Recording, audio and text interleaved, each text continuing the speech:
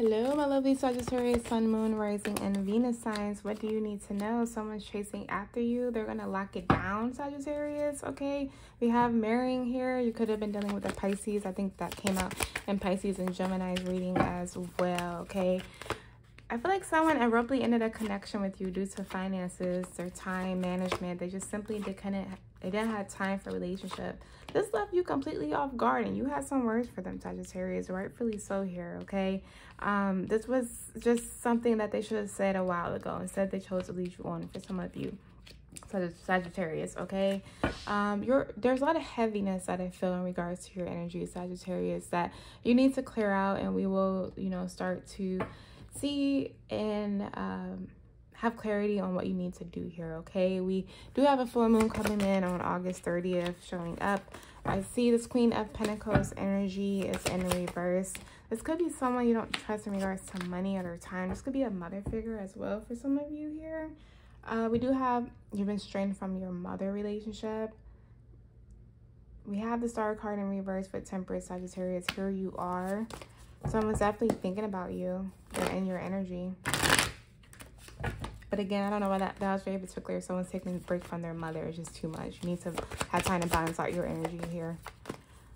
Someone could be moving out of their parents' house. But anyway, this could be this person as well, overbearing mother. That's what that third party energy is showing up. You know, chaser, relationship, a fear of abandonment, ego issues. They could have issues with their mom. But again, Sagittarius, someone's thinking about you. They, they, they wanna they wanna ask you out again, they're saving money because they want to be able to date you. They want to be able to take you out. But it's like there's some ego pride issues that got in the way. Oh, I see, Sagittarius. Okay.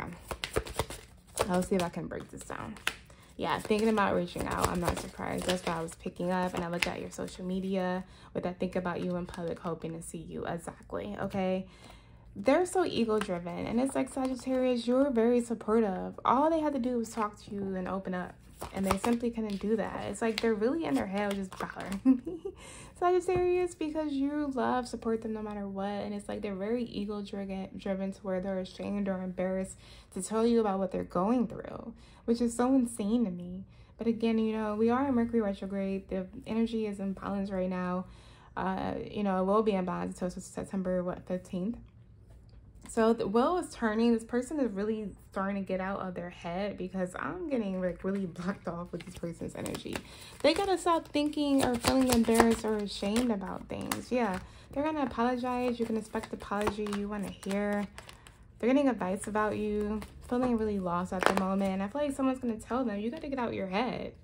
Just make a decision and go from there. Do you want to stop weighing? Stop letting it weigh on yourself. So you know, like I said, the full moon is August 30th.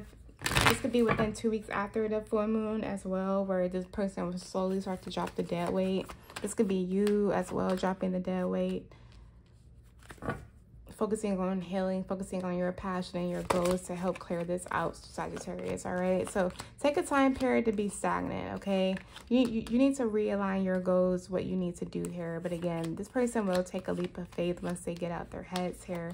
But again, you have to take action on your emotions and take baby steps, okay? Because again, you guys are marrying each other. Your self-image reflects wounds. They're looking at your social media, like I said here, watching, looking, stalking, outdated thinking, re events replaying over and over in their heads. It's, it's a lot. so, you, you know, work on your wellness, work out, do things that you need to change your energy, journal. You're really blocked in your head. And again, focus on your money, your stability, your success. Because again, the scales are going to keep being lopsided here. Probably a few more weeks. You got to make a decision though. You both need to. So you guys are on the same ring lift. I'm very curious as to how September love readings will go because, you know, leading up until September, it's going to be a lot of changing energies back and forth, back and forth, back and forth, back and forth. So the best thing that you can do is embrace your masculine energy, remain grounded to try to clear out your head and be patient and calm with yourself because you're going through transformations after transformations, Sagittarius.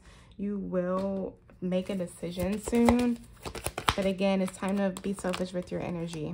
Focus on yourself. Let go of control issues and allow this to happen naturally, all right? Anything else that Sagittarius for you guys? What do they need to say?